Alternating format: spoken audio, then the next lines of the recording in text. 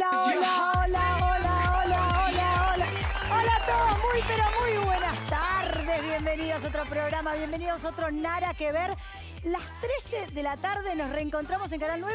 Yo sé, eh, Franquito se levantó a las 6 de la mañana. Si me ven cara de agotada, de no doy más, es por Franquito. Es la culpa de Franquito. Eh, bienvenidas otro sábado hermoso que, como les digo siempre, cada vez somos más. Nos acompañan todos los sábados a este programa que lo hacemos con mucho amor. El programa más buena onda de la televisión argentina.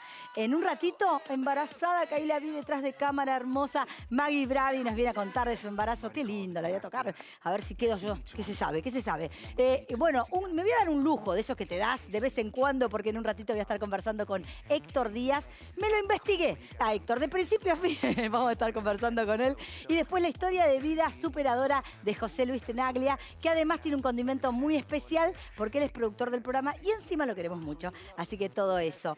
Pero mm, vamos a hablar de alguien que yo digo, es empresaria. Es trabajadora, porque lo importante es que es muy trabajadora. Bailó, pero desfiló, hizo y Yo no te puedo explicar. Primero, conductora, directora, actriz, hizo de todo. Ella es una actriz muy pasional. Bienvenida, la señora Laura Fidalgo. Ay, gracias. Puedo creer que sea la primera vez que venís a mi programa. Es verdad. No, pero mira qué Ah, hermosa, mi amor.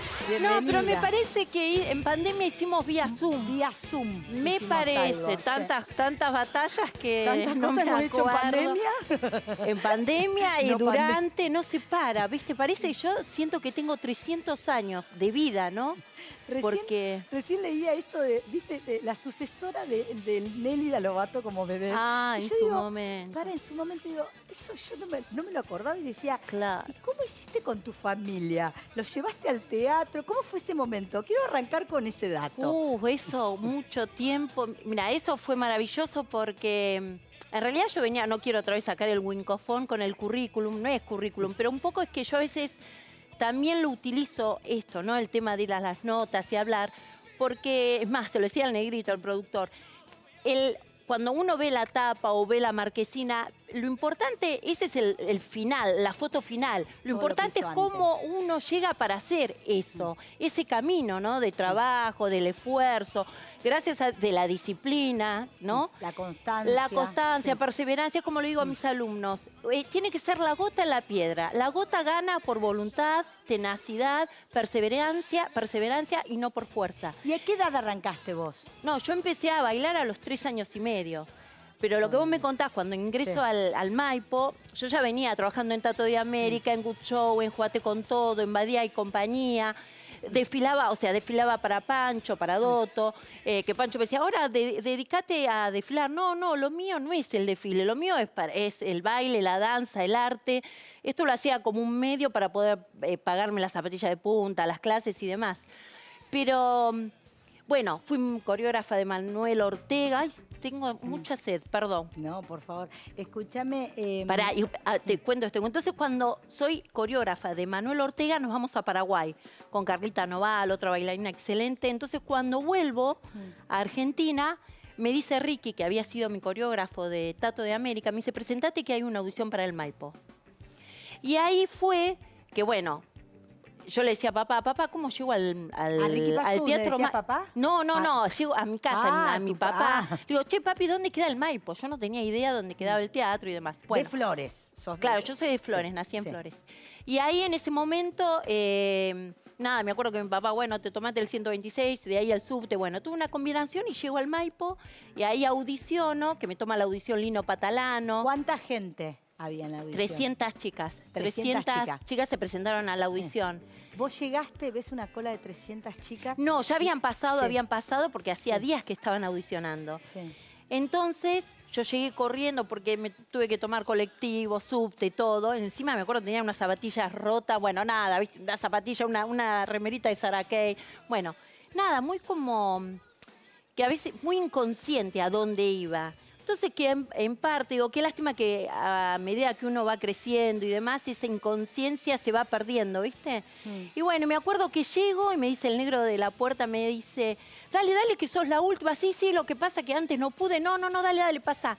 Y cuando Ricky me dice, andé y llévate una coreografía y un cassette con una música. Va, yo llevé el cassette, que Sí, es esta sí, música, sí. por eso la ponen La gracias. por eso la pone el New. Sensation. Sí. Y bueno, y me acuerdo que llevo la, la- esta coreografía que um, ahora te cuento que la había una vez en casa, en un momento de ocio, la había creado. Practicado. Porque había una gotera que me mole- me molestaba en casa y yo soy la chica solución. ¿Cómo hago para tapar esa gotera? Entonces, del, del ocio y, y del aburrimiento, empiezo, estaba esta música sonando y yo empiezo a jugar, ¿no? Esquivando la gotera a tiempo, ¿no? Entonces jugaba, jugaba. Bueno, quedó.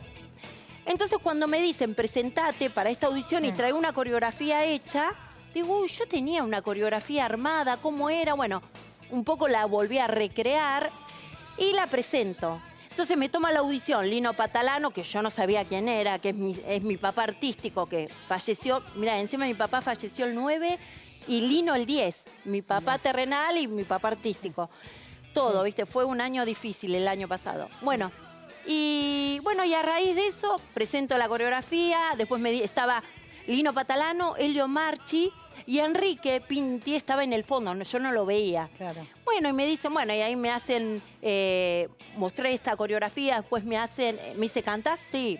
Yo no cantaba porque era en casa era canto, danza o teatro. Bueno, danza, danza. Y me acuerdo, empiezo, cuando me levanto, te, viste, tiré una. Bueno, y después contar alguna anécdota, bueno. Y a raíz de eso, que Lino me decía, ah, yo fui con un calentador porque... Mirá hizo- qué linda foto que estamos viendo, te estamos viendo con Eso era del Maipo, eso fue... el- eh, sí, esa foto fue en Yo Carlos Paz. preguntar eh, esto de, ¿y quedaste? Pará, y entonces ahí quedé, bueno, fue una audición súper extensa y bueno, después terminé y Lino, claro, habían pasado 300 chicas y yo quedé y había, me acuerdo que las chicas iban con medias red, las mallas, ¿viste?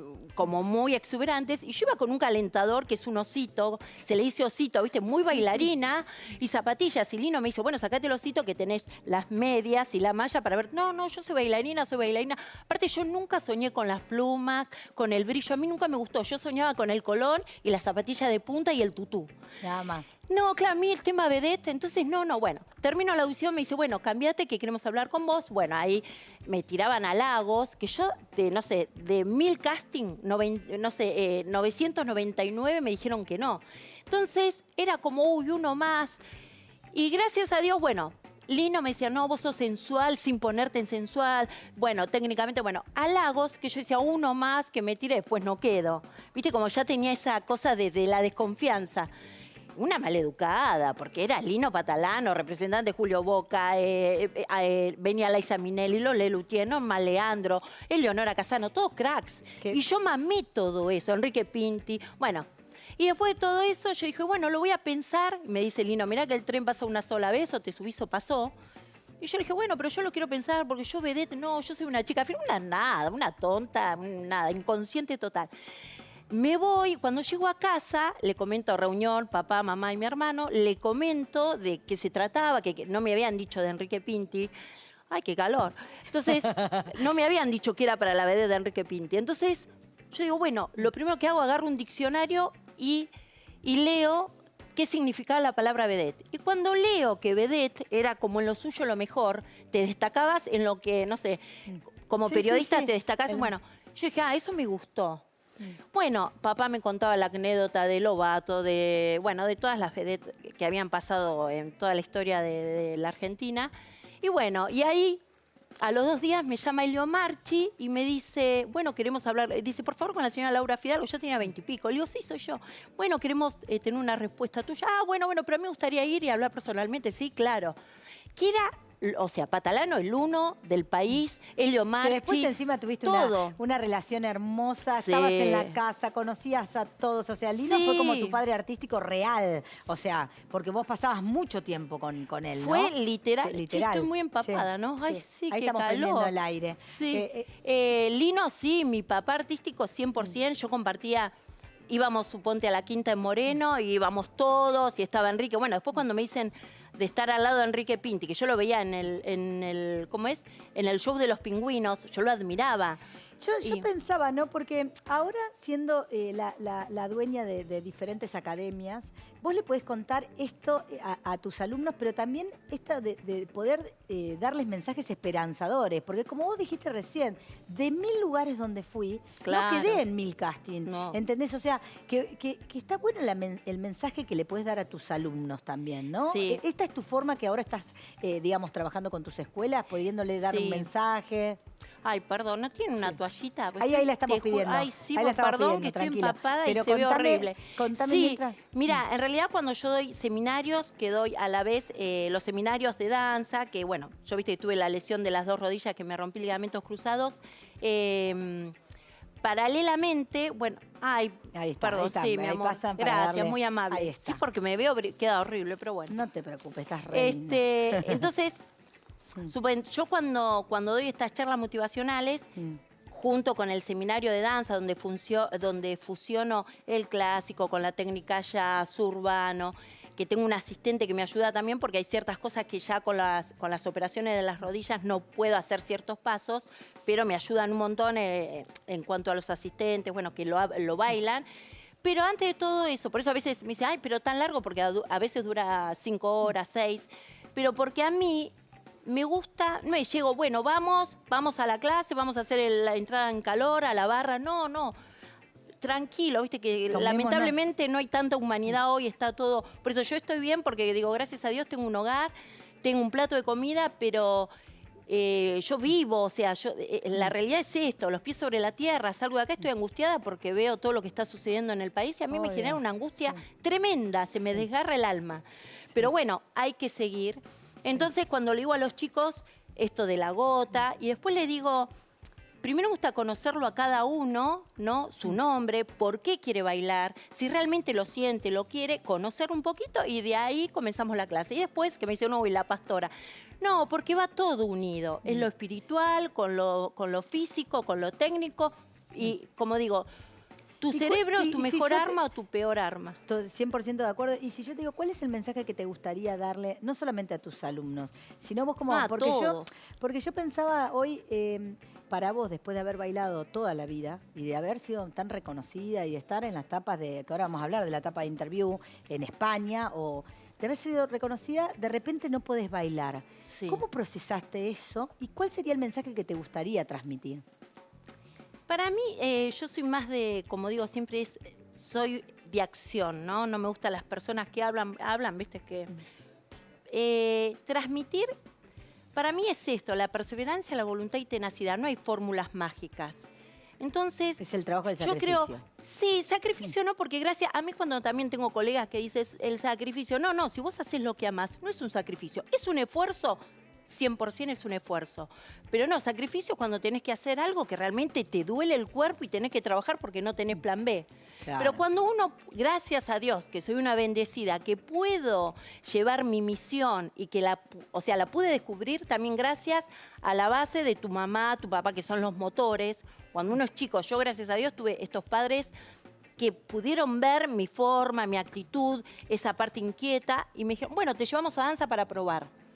Y de ahí conecté, conecté y nunca abandoné. Entonces yo creo que es clave que cuando sos chiquito, o mismo adultos, o a- yo tengo gente adulta, adolescentes, doy a gente también de 60, 70, 80, porque digo, como siempre, el arte, el deporte es lo más sanador. Lo más En- sanador, porque es el 100%. momento donde, en mi caso, ¿no? Como el cantar, actuar, lo que te haga feliz, lo tenés que hacer, porque al menos es ese momento que, que más que yo soy una mujer apasionada, 100% en todo lo que hago, pero es cuando yo realmente me conecto con mi ser, con mi interior. Entonces puedo vivir el 100% el presente.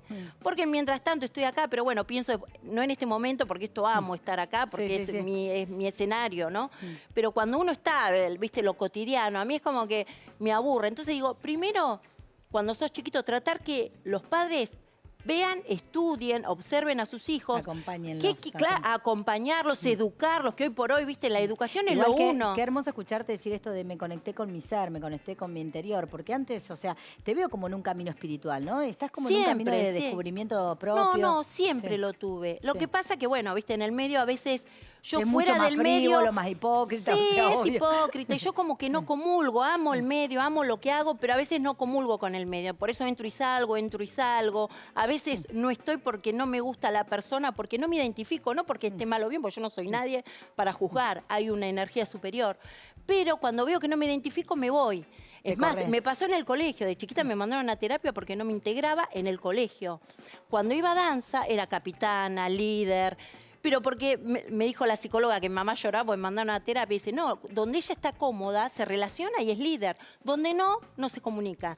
Y hoy por hoy también me pasa que a veces yo, que soy re charlatana y me encanta, pero porque siempre tengo.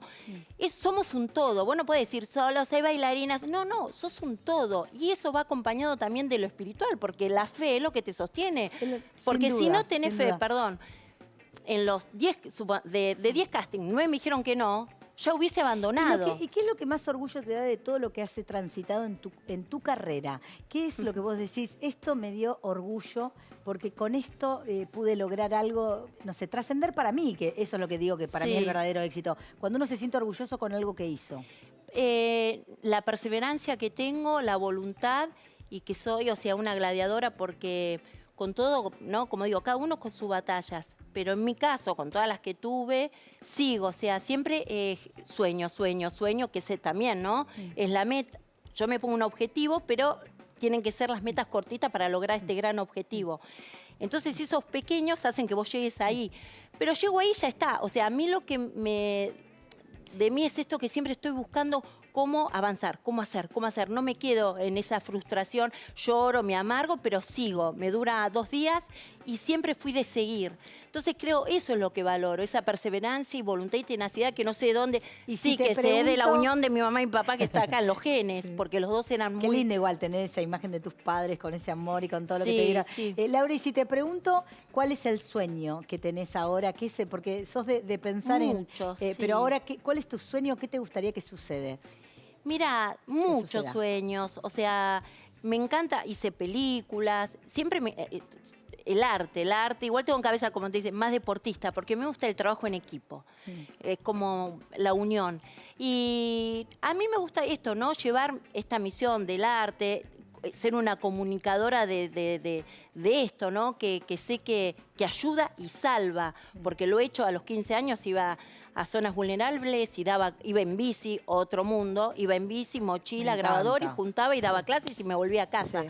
Hay que hacer mucho eso, Hay que hacer acompañar eso, no, abrir- empatía, Sí, sentido obvio, común, amor. No puede faltar tanta... en- registrar a tu compañero, registrar cuando vas por la calle, mirá qué sucede. O sea, si no nos unimos, no salís adelante. Entonces, a mí me encanta todo...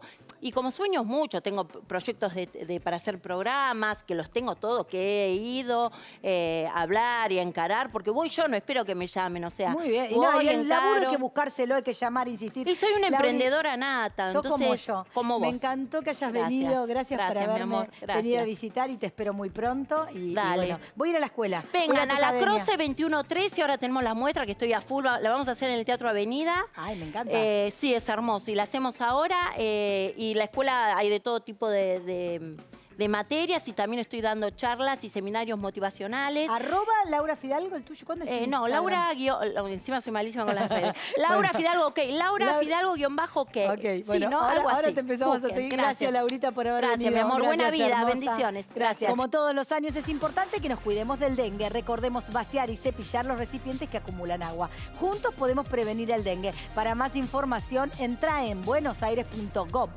Dicen que si uno toca la pancita, claro por que ahí Yo quiero el segundo. quiero- Estamos complicados, pero bueno, el segundo. Ah, ya va a llegar. Ay, qué Ya hermoso. Maggie, contame cómo la estás viviendo. Ay, soy muy feliz. La ¿Sí? verdad que tenía muchos miedos. Bueno, soy mamá primeriza, es mi Sí. primer hijo. Sí. Em, y tenía muchos miedos. No sabía cómo era estar embarazada. Y estoy, creo que, no sé, viviendo uno de los momentos más felices de mi vida. O sea, totalmente. Y mira, ahí tenemos la eco, estamos viendo la eco Esa de- fue una de, de- las primeras ecos. Ah, no, no, lo que lloré. Lo que no me filmé ¿no? porque estaba destruida de llorar, o sea, de felicidad, obviamente. Pero lo estabas buscando hace mucho tiempo, ¿fue una decisión, eh, digamos, eh, tomada con tiempo o fue, bueno, eh, eh, que llegó bienvenido, gracias a Dios, ¿no? Pero A ver, yo siempre quise ser mamá, Sí. eso lo tenía clarísimo. Sí. Pero eh, nunca era el momento, viste que, bueno, vos me conocés, Sí. yo no paro, siempre estoy laburando, siempre estoy haciendo cosas y mm, nunca nos pusimos a buscar a conciencia. Entonces, cuando cumplí 30, dije, bueno, voy a congelar óvulos porque me parece que, que es momento, por las dudas, porque está pasando el tiempo. Y cuando hice ese tratamiento, te estudian toda, sí. y me dijeron, mirá, la verdad es que por hay poquitos. O sea, lo voy a decir en criollo fácil de entender para Tenés baja quien- reserva ovárica. Que fue lo mismo que me Exactamente pasó a mí. Muy bueno. poca reserva ovárica. sí. A mí me agarró una angustia terrible porque fue como, en vez de estar laburando tanto, la chica de fertilidad, mi doctora, me dijo, vos tendrías que estar buscando un bebé ahora. Y, y- y para mí fue terrible porque tenía un montón de contratos por delante, un montón de laburos, un montón de cosas y no podía ni disfrutar lo que estaba haciendo porque estaba pensando en que en realidad tendría que concentrarme en quedar embarazada, en contar las fechas, en si lo quería hacer de manera natural. Sí. La cuestión es que en el medio de todo esto, en algún momento mi cabeza dejó de pensar. Sí. Y en el medio de todos estos laburos que te digo, el Sí. este año, Sí. de repente quedé embarazada naturalmente. Bueno. y cuando me hice el test no lo podía creer, porque era como si me habían dicho que, que no, que iba a ser re difícil, que iba a tener que buscar un montón, que me tenía que... Y acá estamos. Mirá, que- mirá qué hermoso mensaje, Maggie, porque a mí también me dijeron que yo tenía muy baja reserva ovárica y que iba a ser imposible que quede de manera natural. Ah, ok. O sea, que esto, esto que estás diciendo le puede estar pasando a un montón de gente. Esto y está sucede. bueno pensar en eso, ¿viste? Sí. Que no te lo puede decir un doctor, una doctora. Así como hay profesionales increíbles, también Sí. nosotros tenemos que pensar que, ojo con lo que te dicen, porque no es real. Así te digan que no podés quedar embarazada, el milagro existe. Total. O sea, y no somos las únicas. Tengo otra amiga también que es del medio, que Sí. no la voy a nombrar para respetarla, sí, pero digo, le pasó exactamente lo mismo. Sí. O sea, yo estaba muy tranquila porque, bueno, ese día no nos cuidamos claramente. y, y después, cuando quedé embarazada, es mentira, no puede ser. Si a mí me dijeron que, Sí. que no, que iba a ser muy difícil. ¿Y, y cómo lo estás llevando? Bueno, el, el embarazo, ¿cómo está? ¿De cuánto estás ya? Estoy de seis meses y medio. Hermoso, hermoso. Estoy- Y- no, no y- lo puedo creer. ¿Y cómo lo estás eh, llevando? ¿Qué, qué- tenés Feliz. cambios? Ah, feliz. O bien. sea, no, no me pasó nada de, de todos los síntomas que dicen. Tuve una sola semana que hacer mucho reposo porque vino todo junto. Y después, la verdad que es un embarazo hermoso. Cada cosa que me pasa es como, sí, duermo como nunca en la vida. Claro. Nunca dormí tanto. Sí. O sea, yo, viste que Sí. no, no paras. Sí, no, no, sueño todo el día. Y bueno, estoy comiendo más que no. Sí, sí, Más obvio. que nunca. Eh, Maggie, ¿y cómo, cómo lo llevas adelante el tema del trabajo? Porque encima vos no paraste, venís de, de vacaciones ahora, pero no paraste en todo el año, ¿no? No paré. ¿Qué- contame qué has hecho. Porque, porque leí y digo, no, pero no le puedo estar preguntando por todo porque... No, te cuento así velozmente. Filmamos hasta los cinco meses. O sea, yo después del 2016 más que nada me dediqué al cine.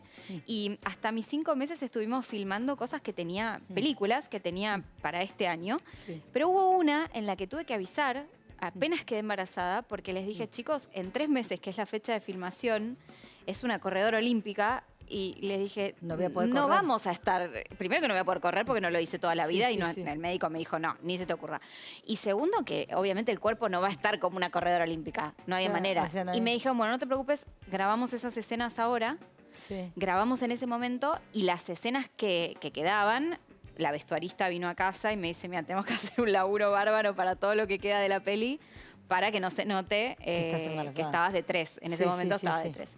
Y después, bueno, decidí un poquito frenar, me tomé unas vacaciones, como vos bien decís, una baby moon que se le dice ahora, Sí. y, mm, y ahora estoy súper tranqui. Tengo ahí unas, un ofrecimiento para hacer un largo, un largometraje a fin de año. Te focalizaste mucho en la actuación, ¿no? De- Y decidiste que, que fui era el para ese lado. Sí, fui para ese lado. Pero me, me sorprendió que te fuiste para el género de terror, porque casi todas las películas que, está, que estoy viendo que hiciste fueron, eh, a ver, todas películas La forma del bosque, eh, El juego de las 100 velas, eh, y te fueron sucediendo cosas paranormales, ¿no? O sea, te Bueno, fue muy divertido. Claro. O sea, yo no pensaba en el cine de terror. Cuando pensaba en hacer cine, dije, yo quiero hacer cine, vamos. Aunque tenga que decir, no sé, la mesa está servida, un papelito así chiquito, no importa, pero mi sueño era, bueno, quiero ir Mirá, para mirá, el mundo ahí del estamos cine. viendo La forma del bosque. Y bueno, cuando se, cuando se empezó a dar, me empezaron a. Cuando entras un poco en el, en el género de terror, por ahí te ve un director, después te ve otro y dice, bueno, porque a muchos actores por ahí no les gusta el género, o no quieren hacer terror en Argentina, o no se animan, o lo que fuere. Sí, sí, sí. Y yo fui de lleno enamorada total de hacer terror, de saber cómo era el detrás de escena. Y por suerte acá tenemos muy buenas productoras de terror que hacen muy. películas que son muy buenas, de muy buena calidad, y las hacen también para afuera, algunas de, en de inglés. hecho, la última que hiciste eh, fue al Festival de Cannes. eh, compitió Así y es, estuvo y fue- y fue a Sitges. y llegó a un lugar importante, ¿no? Así es, sí, Mm. por suerte. Algunos, eh, bueno, esta que estamos viendo ahora, que es el juego de las 100 velas, también se vendió en 200 países, estuvo en Amazon. Esta es la que hicimos ahora, fue la parte 2. que está, se estrenó en Uruguay hace poquito. Pero vos sabés que por ahí la gente no sabe que te No. más tanto la actuación y que fuiste para el lado de la actuación, ¿no? Lo que por eso pasa dije, que tráiganla y hablemos de eso. Es que por ahí no sé, yo a veces pienso que cuando uno no se mete mucho en, en- en escándalos y en cosas así y todo, viste que No, el igual- laburo a veces no te preguntan tanto qué estás haciendo, pero No, igual el camino, te puedo asegurar que este camino es el mejor. Y es el que más perdura y es el que le llega a la gente. Es el que a mí me El hace arte. feliz, así. sí, O sea, yo te tranquila. Y uno tiene que elegir lo que lo hace feliz. y es el que me hace feliz. Pero bueno, ahí estamos haciendo pelis de terror. Me podés ver desde la buena que corre y, y- y muere Sí. hasta, hasta la más mala, malísima de todas, que esa, esa no. Esa... Y, y- Vive. Y, y vos te, te- te gusta, te capacitaste para eso. Yo O me sea, capacité desde chiquita tanto en, en baile como en actuación, lo que pasa que acá se me abrieron las puertas del baile al 100%. Entonces profundicé ahí todo lo que pude, la bailarina se dio todos los gustos de estar al lado de Marcelo, de, no ¿Y sé, cómo- bailar en teatros, el- todo, y de repente me corrí. Mira, me dice Negrito que es un buen momento para ver cosas de Maggie. Mira. A ver, a ver.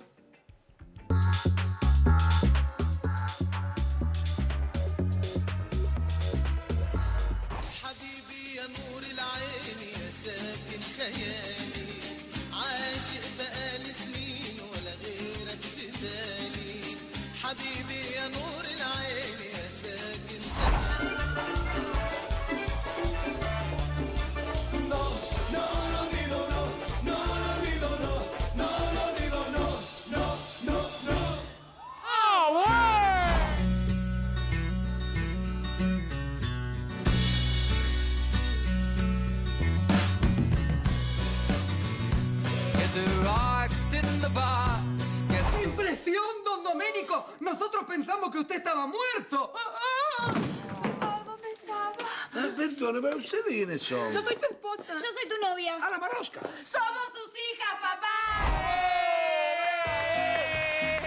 Paró yo, me paró yo, me paró yo, me paró yo. Y ahí bajale.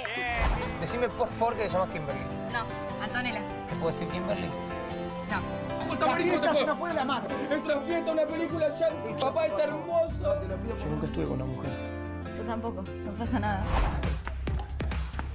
Arriba. ¡Ay, Y cuando te dicen f reventada, p***, esas cosas de las redes, ¿no? ¿Qué haces? ¿Respondes? Sí, respondo, pero de otra cuenta, obvio, no de la mía. 100 ghost stories. And a mirror in the dark to summon the spirits.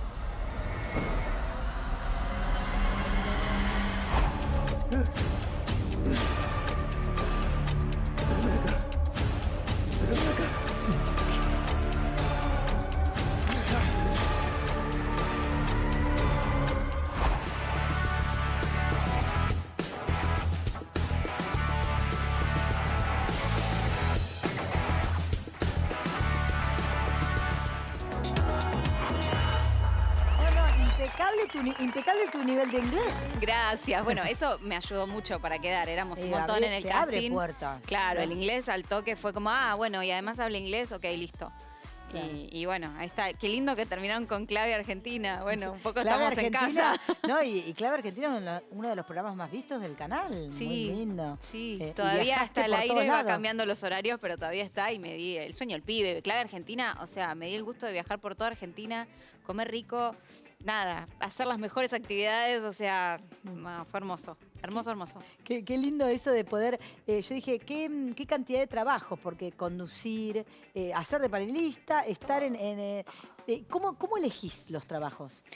Bueno, yo siempre fui de como enfocar qué es lo que quiero hacer y tenía muy claro que quería hacer cine.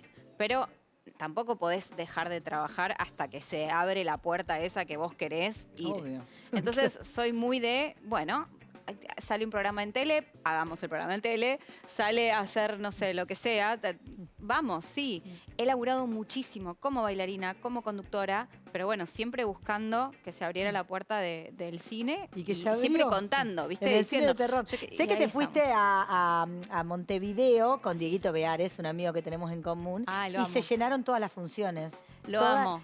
Te fue bien. Esa fue otra. Estaba embarazada de un mes y no sabía. Pero pará, y no le habías dicho nada a él tampoco. No, él ah, tampoco porque digo, sabía. que no contó nada, qué bien que reservado. Nada le dije. No, No le dijiste a nadie, No a le nadie. dije a nadie. Muy bien, muy Me bien. enteré en el medio del bardo de ir y volver a Uruguay a hacer función. Y, y bueno, terminé obviamente la temporada de teatro. Pero esto y- te cuento, sala bueno. llena, la, fue, fue Hermoso, muy sí, bien, hermoso. y Una lindo. comedia con Dieguito Beares, que como director es excelente. Así que la pasamos genial, estuvo buenísimo. Disfrutaron. Sí, Eh, Montevideo es precioso. Eh, Maggie, ¿y cómo pensás que vas a ser eh, como mamá? ¿Esas mamás de controladoras como yo que no nos dejamos en paz o, o más relajada? ¿Cómo te sentís? No sé, todo el mundo me dice, te va a volver loca. Y yo creo que yo lo voy a volver loco a él. O sea, Aparte porque... de un varón, es re lindo soy ser re. ¿Cómo se va a llamar? ¿Ya tiene nombre? No, todavía no, pero estamos ahí. Estamos... Ay, ¿qué, qué opciones tenés? Pará, tirame Ay, opciones. no, porque el padre me mata si lo llevo a decir. El padre, 14 años que estás en pareja. Sí. Yo no sabía, pero ¿cómo duraste Es el mismo de siempre, es el mismo de siempre, el que, el que se bancó todo el. Pero pará, dame, que- dame la fórmula, dame la fórmula. No, bueno, en bueno. un ratito Héctor Díaz, que vamos a hablar con él, que él también hace muchos años que están en pareja. Cuéntenme la fórmula tantos años. Te juro que no sé cuál Sí. es la fórmula. Yo creo que es eh, hablar mucho, contarse Comunicación. todo, mucha comunicación, decir lo que uno necesita. eh, Ahí está tu pareja. En, to- en todos Él. los, en ¿Cómo todos se los llama? Que no ámbitos. Octavio. Octavio. ¿Lo tenés guardado, Octavio? ¿No te gusta? ¿Él no le No, gusta a la- él no le gusta. Nada. Yo te mostraría todo lo que hace H24, o sea, Sí. pero a él no le gusta. No le gusta Y ahí con el nene estamos porque yo le dije, ¿cómo? Es mi hijo, escúchame. Yo lo Obvio. primero que voy a hacer es Mostrarlo. Y Y dice, no sé, no, no sé. No, le dije, No hay chance. No, no hay chance. No, en esta no te cedo. en, esta, no, te y cedo. no, un poquito y un poquito. Vos no Pero querés salir, tiene no perfil muy bajo él. Él tiene perfil muy bajo, no le interesan las fotos, no le pero no tiene ni redes sociales. Él es así. Es como mi hermano. sí. Así fue, Bueno, así lo conocí y así sigue. No, y es lo que quiere ser, o sea, es que te rompe mucho Total. después eh, el que te saluden por la calle. ¿Y él cómo, No, cómo no hace sé. con eso? no, No le le jode, o sea, él respeta lo que a mí me gusta, pero no es lo que a él le gusta. O sea, yo hago mi vida, él también, y cuando estamos juntos, obviamente, él se ríe Mm. de cuando, ah, porque aparte le dicen, ah, vos sos. Sí, Maggie, ¿para. ¿para cuándo, cuándo tiene fecha? Febrero. Febrero. Acuariano. Sí, Acuariano. Ya, ya averiguaste todo. ¿Sabes sabes. que no conozco ningún chico de acuario? Me vuelve loca la cuestión. Porque No. conozco de. Yo tampoco, de ¿vos ¿sabés? ¿Alguien conoce a alguien de Acuario acá? No hay nadie de Acuario. No hay nadie, ¿ves? No hay ningún acuariano. Bueno, Bueno, será un misterio. Me encantó recibirte, me encantó conversar con vos. Te Placer. deseo lo mejor. Gracias, toda la energía Siempre del es un mundo. placer verte. Yo también, para mí es un placer verte. Vamos a ir a un pequeño corte cuando regresemos. Héctor Díaz, vamos a hablar de su carrera y de todo. Corte, regresamos enseguida.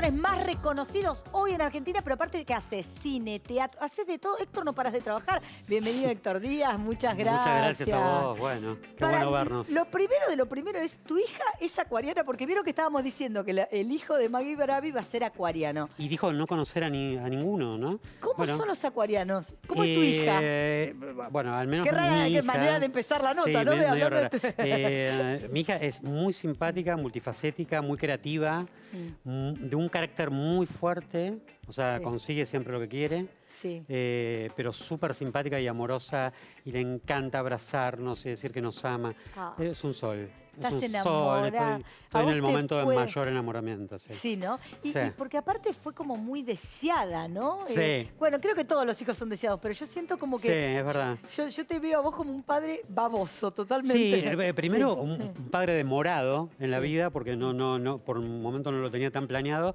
pero después con Maida, después de muchos años juntos. eh, ¿Cuántos años llevaban de llevamos, Llevábamos ocho ya De relación. de relación cuando tuvimos Sí. a, a Eloísa.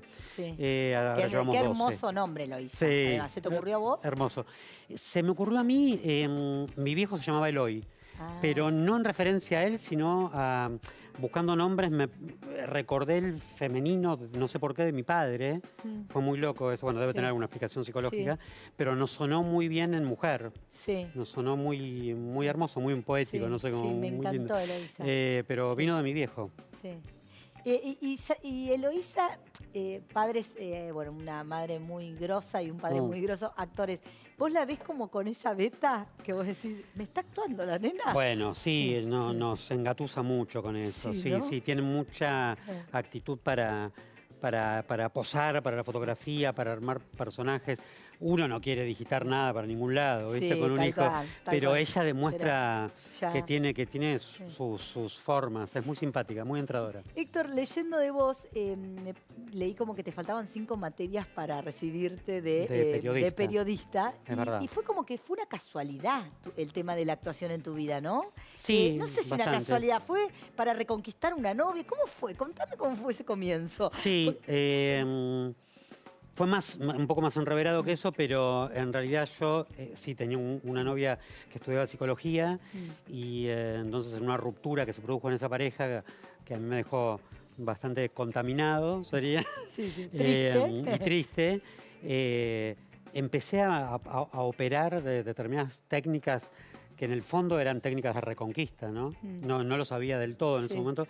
Y una de ellas fue a hacer psicodrama con Pavlovsky. Con Pavlovsky, sí, En sí, su sí. escuela de psicodramatistas, o sea, no, no era otro objetivo que ese.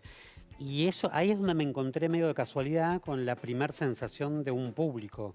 O sea, de pasar a representar algunos ejercicios de psicodrama y que alguien me mirara y darme cuenta que, bueno, en principio causaba cierta gracia mi presencia ahí adelante. Y yo no entendía bien por qué. Sí. Eso hizo que al año siguiente dijera de probar en teatro y ahí caí en teatro. O sea, medio indirectamente, pero, pero fue por eso. Pero sentiste como que había algo que te llevaba, ¿no? Me Que- llevaba que, era una un- energía que la Sí. gente te, te- te aprobaba. Sí. Y, y esto de, vos te sentías más tímido. Sí, era totalmente inhibido, no, no, jamás podía pensar en romper esa, ese muro y, y dejarme observar por otro. Todo lo contrario a lo que puede un- imaginarse uno de alguien que vive expuesto, sería. Sí, sí, que sí, mi, profesión vive de la exposición. Pero la verdad que me cambió, me, me refundó, digamos, la vida. ¿no? Y, y esto de verte ahora, yo pensaba el otro día, decía, qué groso debe ser, 1985, estuviste, participaste de Mm. esa película. Eh, bueno, has hecho pero una, una trayectoria, un recorrido importante ahora con, con, con Verónica Ginás eh, en Calle Corriente.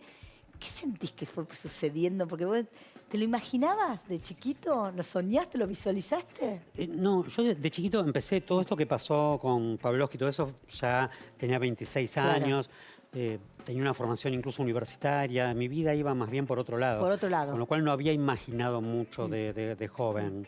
Era otro mundo para mí el mundo de la farándula Sí. o de los actores, era un mundo extraño, eh, en todo caso más de... De, de eso, de fan de algunos, del cine sobre todo, Sí. más que de la televisión que otra cosa. No, nunca imaginé da- nada para mí. Y después, como se me fueron dando las cosas a mí, eh, la verdad que fue tan de hormiga, tan poco a poco, tan natural también, eh, tan poco forzado, que siempre Mucho me de la fui- mano de me- Javier Dolte. Claro, que siempre me fui encontrando en, en- en el, en el medio de alguna manera, ¿no? Eh, no lo fui a buscar, sino que me encontré galopando con alguien que me había puesto ya el caballo debajo. O sea, era como una situación que se produjo un poco al revés. Eh, yo siempre la disfruté. eh, al punto de que me costó admitirme como actor, me, me parecía tan extraño. Ahora ya no tengo dudas, pero hace hasta 10, 15 años era, como, era una actividad como un poco que yo hacía, pero no que era. Y esto de, de lo que recién hablábamos, de la perseverancia y la constancia, ¿no? Sí. Porque como vos dijiste, fuiste haciendo muy a poquito. Muy a poco, sí. Eh, y cuando te empiezan a llegar estas, estas oportunidades, como eh, 1985, o todo lo que, lo que fuiste haciendo, eh, ¿cómo lo tomás? Eh, bien, sin sorpresa, por ejemplo, en el caso de Argentina en 1985 yo había laburado en dos películas anteriores con Santiago Mitre, entonces también ahí se produce como una especie de, de curso natural de, de- de las Sí, sí. aguas. Nada es muy como abrumador o caudaloso. Cuando me ha llegado, siempre me- me- me pareció como, no te voy a decir que no me ponía hiper feliz, pero tampoco me pareció totalmente alocado y desatinado que eso estuviera ocurriendo, porque había ocurrido algo antes Claro. siempre fue como eslabones, ¿no? Eh, al menos así me ocurrió a mí. Eh, quizás eh, sí el impacto con que nombraste a Javier, Sí. eh, Dolte. Eh, yo en un momento tuve una obra muy, muy importante con él y con Gloria Carrá, que Sí. se llamaba Estás ahí. Pero pará, fue una obra que empezó en el Claro. Dalte, terminó en, eh, con eh, Seba viaje- ent- terminó en todos lados, o sea, pero ¿cuántos años de obra? Es una obra que comenzó under y comenzó a crecer. Comenzó a en el crecer. 2004, Eh, En realidad comenzó... Terminó en Nueva York, ¿eh? en Broadway. Eh, sí, o con, sea, con un... A ese con- nivel, sí, digamos. Mm. fue que creció. Tuvo muchas etapas a lo largo de nuestra vida, tanto de Gloria como mía y de Javier. Eh, a todos nos representó y nos marcó mucho. Mm. ¿Cómo se llamaba? ¿Estás, eh, ¿Estás ahí? Estás ahí. Con Estás signo ahí, de pregunta. sí. Eh, mm, Era una pareja. una eh, pareja, sí, una obra sí. Mm. muy bella, muy particular, muy graciosa y, y a la vez, eh, o sea, una comedia totalmente hilarante y a la vez eh, totalmente sensible y emotiva, Mm. Con un final donde uno miraba al público que estaba eh, llo- llorando y sonriendo a la vez, lo Mm. cual era muy, muy hermoso de ver en un saludo. Eh, y yo creo que ese momento sí fue como, como un- marcar un territorio Eso fue grande. un antes y un después. Sí, sí, porque, porque hubo, tanto para Gloria como para mí, era muy difícil lo que había que hacer sobre el escenario. O sea, era un desafío muy grande, te diría técnicamente hablando. Había que sostener algo muy inverosímil, muy particular, actuar con un hombre invisible, en definitiva se trataba de Mm. Sí, eso, sí, sí. y volver eso creíble. Y no que no, pa- no pasar por locos, sino generar esa, ese otro ser que actuaba con nosotros. O sea que era un desafío actoral enorme. Enorme. Estábamos todas las funciones con mucho terror de si sal- saldría o no cada vez. Mirá qué linda. Eso es para un actor y después de tantos Tremendo. años de. Eso es, eh, eso, eso es lo lindo del teatro, ¿no? Sí, Ese-. Esa Ese salto al vacío. Ese salto al vacío, que no sabes que nunca cómo va a pasar, porque aparte no, hay No. una. Porque te dice, hay gente que te dice, no, pero actuar es lo mismo todas las funciones. No, no hay Ni una loco. función igual a otra, querido. ¿No? Ni loco, ni loco, ni, Ni loco. loco. No, por suerte ese, ese, ese temor eh, previo que, que, que, que te pica la panza y que decís saldrá o no saldrá y no querer fallar, eh, uno siempre lo tiene. Va, a mí por lo menos me pasa que es como una especie de, de, de marca, ¿no? Que me, que me acompaña, para y bien y ahora para mal. Antígona en el baño. En el lo quería baño. leer bien porque digo, no me quiero equivocar. Pero aparte, miren el elenco, con Ginás y la Mote. O sea, fue mi, mi amiga que nos dejó una entrada, vos sos un genio. Me dijo que es impecable esa obra, de principio a, fin, y que no paraba de reírse. Yo me gusta ir a ver las obras antes de que vengan ustedes, pero bueno, en este caso. Pero eh, me dice que es muy bueno y tu papel que dice que no paró de reírse.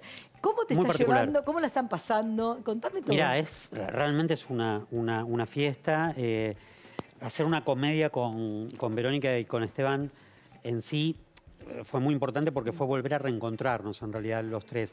Nos conocemos de alguna zona de hace muchos años del teatro, del cine con Vero. O sea, tenemos un conocimiento de nosotros en otra época de nuestra vida. Entonces, eh, no era una novedad reencontrarnos. Por eso también, también fue natural.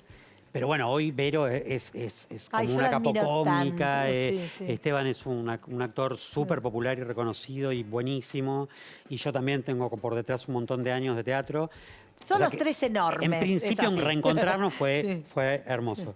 Eh, luego ensayar la obra, era una obra, es una obra tan particular, es una comedia muy salvaje, una comedia disparatada, pero también muy al estilo de... ¿Quién la escribió la obra? Eh, Es una, eh, el actor se llama, se llama Facundo Silverberg, no tiene nada que ver con Julieta. Sí. Eh, y luego Verónica eh, se sumó a la autoría porque hizo mucho trabajo sobre la dramaturgia de, de Franco. De Facundo, perdón. Eh, Franco se llama tu hijo. Sí. Se me vino, se me vino porque lo tenía ahí. Sí, sí, sí, sí. Eh, entonces, eh, eh, son coautores de la obra. Luego, en los ensayos también los con nosotros seguimos eh, elaborando mucho el material y Agregando, trabajándolo. cambiando. Suele suceder cuando tenés genios así, sí. Sí, sí, mucho más con Vero, que es una persona que labura mucho con el aquí y ahora de Mm, los actores y como que va renovando. Y sobre todo en funciones sigue renovando también. Mm. Pero una obra que- de la cual, haciéndola y ensayándola, eh, no, no- no teníamos mucha conciencia de lo que estábamos haciendo, porque era tan eh, incorrecta en un sentido, tan fuera de borda, que hasta que no apareció el público no, no, la, no la entendimos. O sea, realmente la terminamos de entender con la gente.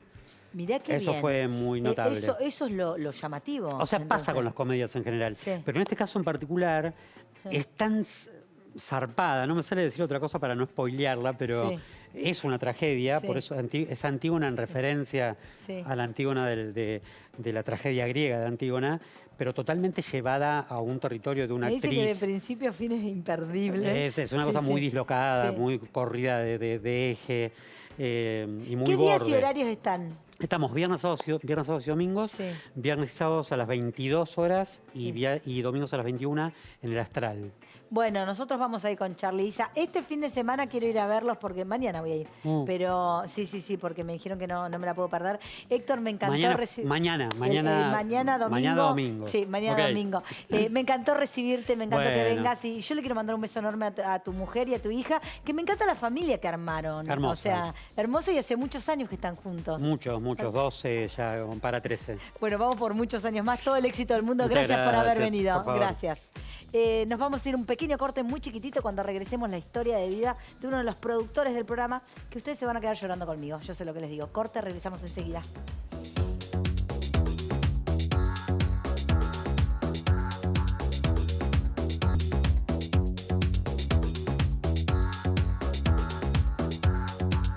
Bueno, y llegó el momento para mí de hacer una entrevista muy especial. Y les quiero contar a todos mis televidentes. José es una persona que nosotros queremos mucho en todo el equipo. Lo entrevistó Tati de Infobae, lo entrevistó Gastón Portal en Seres Libres. Y yo le digo, ¿cómo puede ser que no hayas venido a contar tu historia? Pero la historia de José es una historia de superación y de salir adelante. Por eso lo primero que te quiero decir es, primero agradecerte. No. Gracias por haber venido. Gracias por invitarme tantas veces y yo no poder venir porque estaba muy ocupado. Mentira, estamos siempre acá. No, eh, te quiero preguntar esto de, eh, empezaste a conocer tu historia de grande, porque yo siento esto de que el bullying que te hicieron de chico, recién Sí. después de muchos años de terapia empezaste a entender que te hizo daño, ¿no? Sí, sí, fue cuando toqué fondo, justamente. Yo no entendía lo que me pasaba. Yo no ¿Qué entendía. sentías que te pasaba? Yo sentía que, emoción, que, que tenía una emoción muy grande en un montón de cosas, que era una persona muy intensa, muy sensible, pero no entendía por qué. Y quiero aclarar esto del bullying. El bullying en la primaria, cuando sos un nene de 7, 8 años y vas a la escuela y, y te dicen gordo, maricón y qué sé yo. Yo entiendo y entendí también con el tiempo que no lo hacían de malos mis compañeros. Era porque capaz que escuchaban en la casa cosas. De hecho, yo ahora soy amigo de todos ellos. Pero en ese momento yo sentía que ese gordo maricón venía desde un lugar que a mí me, me- me hacía mal. Porque vos venís de una época y una historia donde ser maricón no se podía decir. No, y a los 7, 8 años míos, que era el 80 y algo. Por eso entonces, lo primero, ¿te costó aceptar tu sexualidad, José? Es que yo, a, a ver, en ese momento yo no entendía que era maricón. A los 8 Claro. años uno no entiende qué es ser maricón. ¿No entendías que habías, que- No. qué te pasaba? Yo era gordo Mm.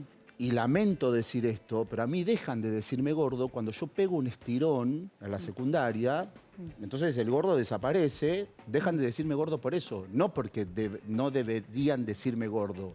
¿No? Porque era otra realidad, otro universo, otro mundo. Eh, entonces, eh, era, que no, no es que yo estoy hablando bien del, del pasado, pero es una situación real. Antes se decía gordo, se decía maricón. Ahora también. Ahora también, y ojalá que no se diga más. Sí. Eh, vos se sentías muy sensible. Muy Sentías sensible. que algo te pasaba.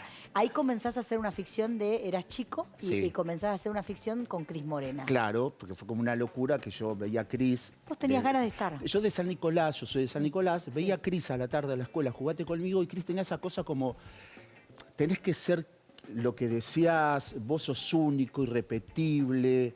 Y yo decía, bueno, para, no estoy tan loco. Si todos mis deseos, Ahí te estamos viendo, ¿eh? si yo deseo, esa es la novela de Cris, que ahí lo que me pasaba, yo, yo hago un casting, empecé a trabajar como en la producción de Cris, y después Cris me elige como actor. Y yo empecé a laburar en la novela esta, que fue antes de chiquitita, que era un colegio de pupilos y qué sé yo, y yo tenía un personaje de un pibe que se enamoraba de Manuela.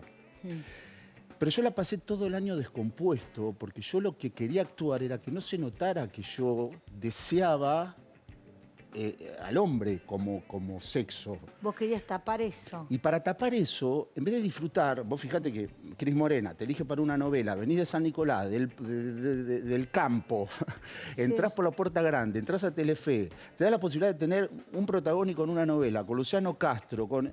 Y yo lo único que hacía era, yo leía el libro cuando llegaba, viste que cuando estás Claro, laburando... estabas sufriendo porque vos deseabas un hombre y que tenías que actuar de que te gustaba la Sí, mujer. y la tenía que besar a Manu. Claro, y, y vos no, no querías saber No, nada, yo, claro. Nara, yo realmente sufría mucho porque cuando llegaban los libros, viste que un actor Sí. va a buscar el libro a la oficina de producción, Sí, cuando sí. haces una ficción, Sí. y lo primero que buscas es saber cuántas escenas tenés, porque lo que quiere el actor es más escenas. Yo lo que quería era que no me escriban, eh, o sea, no quería tener escenas. Entonces, cada vez que tenía que ir al estudio, ahí, eh, Te ahí estoy grabando. Yo ahora lo veo Sí. y no se nota, pero en ese momento yo lo único que actuaba era, hola Nano, ¿cómo estás? Porque yo lo que quería era que no se notara que me gustaban los hombres. Que no era... No, Qué no, no. importante el mensaje, ¿no? Por esto de, de no aceptarse tal cual uno es. O sea, tu dolor era no poder decir yo soy esto y punto, y es lo que soy. ¿Y en qué momento ingresa el tema de las adicciones en tu vida? en el mejor momento. Yo termino de hacer esa novela con Chris. Dije, bueno, no actúo más porque evidentemente no estoy preparado para estar expuesto a algo que me, expone cuando yo no, sé la repercusión que va a haber. Si yo, si salía a la calle y a mí me decía alguien que no me conocía, che, maricón, yo me moría. Entonces toda la novela actuaba de que no se notara. Pero después empiezo a laburar en producción, me alejo, de- digo, no actúo nunca más, empiezo a laburar en Videomatch con Pablo y Pachu, casualidades de la vida que se te Empezás van a trabajar dando. en producción. En producción, Sí. empiezo a viajar con Pablo y Pachu por el mundo, conozco el mundo gracias a, a Videomatch. Sí. Y en ese momento, en un asado, apareció la cocaína. Y esto, es- lejos de hacer apología, lejos de hacer apología, en ese momento que yo aspiré la cocaína, la cocaína tiene esa cosa, ese- es, es como el Sí, veneno. bueno, pero no es el mensaje, sí, sí. el sí, mensaje es el es, veneno. que es, lo el, que es el sentís- infierno en la tierra, igual, que lo que sentís maneras. en Sí. ese momento es, pará, no está tan mal, no, no soy tan raro. Mm. Eso fue la sensación que yo sentí cuando aspiré la co- co- cocaína por primera vez y nunca más pude dejar de consumir. ¿Cuánto tiempo pasó? 15 años. Bueno, nunca más no, porque ahora estás hace Bueno. dos años limpio eh, eh, y estás en, en recuperación. Sí, fueron Y- ocho años de búsqueda, de tratamiento, pero cuando yo conozco la cocaína, que es lo- el mensaje que yo quiero dar, porque acá yo quiero separar dos cosas, Mm. el consumo social y cuando uno se enferma. Mm. El consumo social es que vos vayas con tus amigas o Sí, que igual cualquiera- eh, eh, con, con relación a, a- a drogas no hay consumo social, siempre está enfermo, la, la- digamos, no, no, no hay un... Sí creo Es que en tu, en tu, en tu proceso eh, siento que vos encontraste una puerta el cual eh, pudiste, eh, recuperaste, pudiste salir, pudiste empezar a decir, yo me acepto tal cual soy. todos los laburos. Yo estaba laburando en el mejor programa de la tele, en el programa más exitoso, qué sé yo, faltaba, no tenía vida. ¿Te despidieron de ese programa? No, no me, no, no me despidieron, pero en algún punto. No te llamaron más. No, no, en ese momento. No, no- igual no tiene que ver el otro, tiene que ver uno que no. Obvio, que no pudiste cumplir. Que, no puedes, no eso se cumplir, trata, porque es por así. supuesto, la responsabilidad y la voluntad con la droga no existe. Obvio. Yo me dejo estar, me dejo estar, y ahí aparece mi familia, que yo me acuerdo de la situación y esta la quiero contar. Mi viejo se murió hace un año. eh, y mi viejo, yo estaba en mi departamento, me había comprado todo y dije, bueno, tomo hasta morirme. Porque yo sentía que no podía dejarla y que yo nunca más iba a poder dejar de consumir. Entonces empecé a tomar en mi habitación, estaban mi mamá, mis hermanos y mi viejo en el living, y mi viejo cada 10 minutos entraba a la habitación a decirme, José, tengo el auto abajo, vamos a la clínica. Llamábamos a él llamaba a la prepaga, a la obra social, entraban los médicos, pero ya la ley de salud mental en ese momento no podía obligarte a, a llevarte en la ambulancia como antes y a internarte. El médico no tenía esa capacidad y, esa, y- digamos, ese poder. Hasta que mi viejo, después de cinco días de yo estar casi sin comer, sin tomar agua, sin, y, y drogándome y drogándome, y todos en la cocina haciéndome el aguante, aparece con cinco policías en la habitación, con una orden de un juez, y a partir de ahí empezó, empezó mi sanación. Yo a, partir de ahí, de ese acto de, de- de- de- de valentía que tiene Que- un padre... que el mensaje que nosotros queremos dar es que se puede, pero siempre tenés que pedir ayuda y reconocer que tenés un problema. Sí. Y nunca la salida es tapar tus emociones. El comenzar a hablar, ¿no? Porque vos pudiste empezar a hablar. Vos, A empezaste, vos pudiste empezar a hablar, a decir lo que sentías. O sea, nada, me di cuenta que no me reconocía, que no me aceptaba, que, Que me no quería aceptaba. tapar. Y, y hoy, ¿cómo es el proceso de tu vida? Eh, eh, ¿Cómo estás? ¿En qué momento estás? Estoy, estoy en un proceso donde todo me parece súper lindo, donde yo disfruto un mate en Parque Centenario, que es lo más, lo más chiquito que hay, pero yo lo disfruto, porque vos imaginate que un pibe que lo sacan cinco policías de su habitación casi muriéndose, a estar hoy sentado acá hablando con vos, eh, habla- hablando con vos de, de esto, es, es de- es mostrar que se puede. Yo necesité que mi viejo con los huevos de un padre que no quería ver morir a su hijo, tome la valentía de sacarme de ese departamento y con una internación involuntaria me salvó. Hay personas que piden ayuda, que lo hacen de otra manera, que tienen otro- otros procesos. Yo Eh, lo que digo es, en Argentina necesitamos una ley de salud Sí. mental, ur- Sí. pero urgente, de manera urgente. Eh, hay que trabajar en la ley de salud mental en Argentina y hay que pedir ayuda y saber que solo no se sale de ningún tipo de adicción, ninguna pero ¿por qué, problemática. Nara? Porque lo que pierde el adicto es la voluntad. La perdés la voluntad. Bueno, te quiero agradecer enormemente por haber venido a contar tu historia. Gracias, Sabes que te queremos a vos. muchísimo. Gracias a que lo amo. Y, y- y a vos te digo que eh, si estás pasándola mal, recurrí a pedir ayuda. Y que se puede, se Gracias, puede, mi amor. gracias, se puede. Las veo la semana que viene, me emocioné. Las veo la semana que viene, los quiero. Chao.